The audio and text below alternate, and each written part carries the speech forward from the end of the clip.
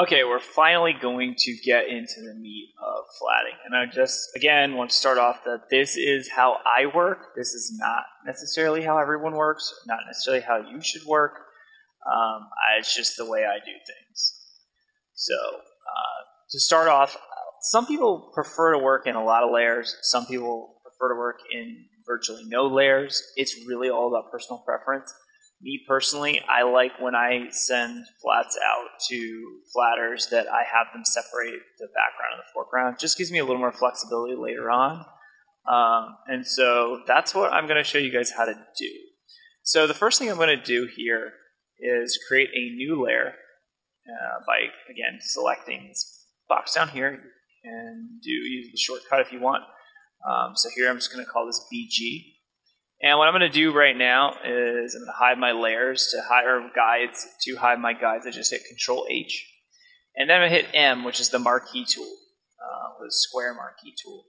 And what I'm going to do is I'm going to actually grab each of these background areas and sort of get a base color laid in. Again, some flatter or some colorists are going to want you to do uh, very specific colors. I prefer you to do specific colors. In fact, I'll usually provide something like a color key so for example here, you see the color key for Gesh, or this guy Ethan, uh, is right here. And so what I've done is create areas where you can see exactly what color he should be. One of the cool things actually with Creative Cloud, I don't remember if the prior versions did this, is even if I can have this up over here and still be focused on this area again, if you if you didn't use it before, it's not going to mean a lot to you, but it's actually kind of convenient because it allows me to not. Whereas it used to be when I clicked here, this would kind of disappear, would go behind. It doesn't do that anymore, which is kind of cool.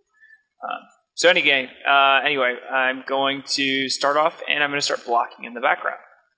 So to do that, I'm going to zoom in, Control plus, Control plus, and if I hold the space bar, it's going to create uh, that little hand icon, and I can you know drag things around.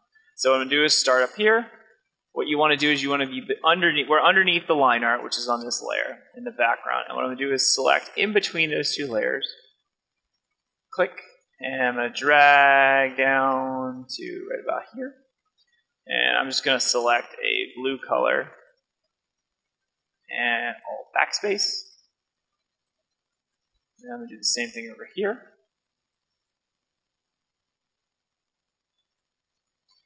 Alt backspace. Mm, same thing over here. And again, you don't have to do the you don't have to do this the whole thing. You could get precise right from the beginning, but I like to just kind of block things out. Alt backspace, and again here I am going to make a similar selection and Alt backspace. I want to be careful not to go outside the lines. Um, Next thing I'm going to do is I'm going to switch over to the lasso tool, and again, that's the L key. And I'm going to hold Alt. What Alt does is it allows me to actually, if you hold Alt, it create, lets it sort of holds you to the last point that you clicked. And so what I can do is just click, click, click, click, click, click, click, and create a very, um, well, I guess it's basically like a polygon lasso. I think it switches it to and it gives me that. If you were to just not hold Alt, you can just freeform and draw however you want. One cool thing is you can actually, you know, switch between the two, and you can hold Alt down the whole time. But if you hold down the left mouse button, um, it lets you do freeform drawing. So anyway, uh, I'm going to do here, and I'm going to actually left click, or I'm going to Alt click, and I'm going to draw a line across here, One thing you can do, and I'll show you two different ways, you could actually go around the whole space, or you can do this. And because I've already selected um, the selected that whole area, right? I've got the blue and I've got white. What I actually can do is use the wand tool, which is W. Oops, sorry, cube accent. Hit the wand tool, and rather than making a selection, I can actually make a deselection. So to do that, you hold Alt and then you select the area, you see how it changes to a little minus, the wand underneath. What I can do is select the area I don't want, and now it's going to snap to the blue area. So if I was to turn this off, you can see I hit the area here, it would snap to that. Here it would do the opposite.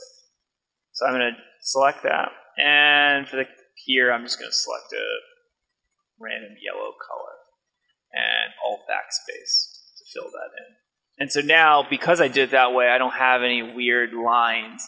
Whereas if I was to have drawn it manually, I might have ended up with some weird um, extra lines in there. And so I'm going to do the same thing here.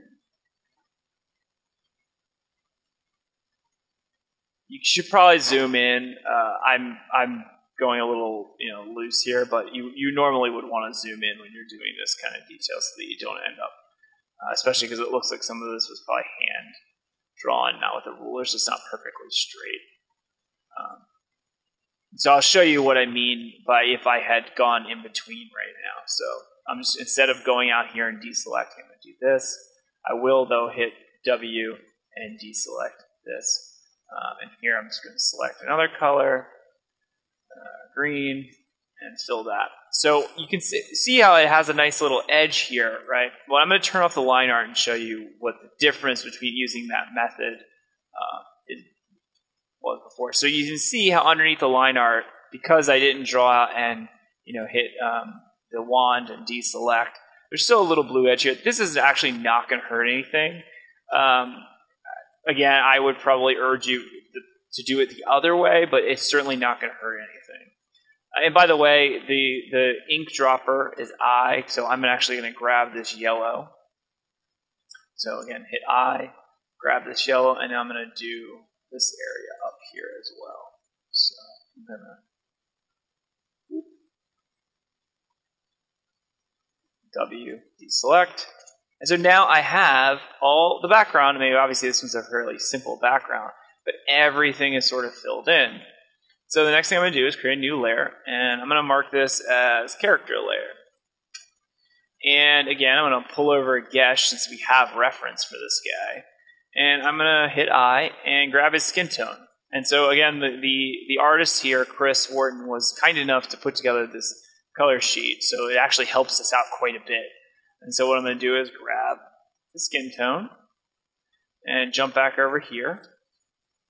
And now I'm going to, and this you're going to want to zoom in for because you want to make sure you have the details. And I'm going to get this all filled in. And here I don't necessarily recommend overfilling because this is actually going to, because we're doing this accurately, when we go to do the other things, we're going to be able to use that wand deselect method uh, to much more quickly narrow down our um, our selections. So I want to be careful about his mustache here because I don't actually want that to. I mean, I could go back in afterwards, but I don't want that highlight on his mustache to get selected. So again, this is one way to do this. Uh, I'll show you how to do it with the pencil tool as well. So I'm just going to finish that up. And then alt backspace, and now we see he is filled in, which is fantastic. So here's what I was talking about. So we see the shirt um, is right here. So I'm going to grab, hit I again, and grab the shirt swatch. And now what I'm going to do is similar to what I did with the background, I'm going to select, actually I've got to stay in line somewhat. Select this.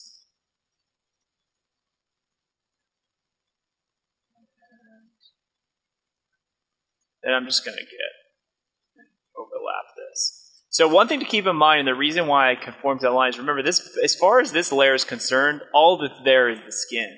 So if I was to have gone outside the box and then used the wand option, it's going to snap up to here because this doesn't, as far as it's concerned, it doesn't exist because I'm not sampling all layers.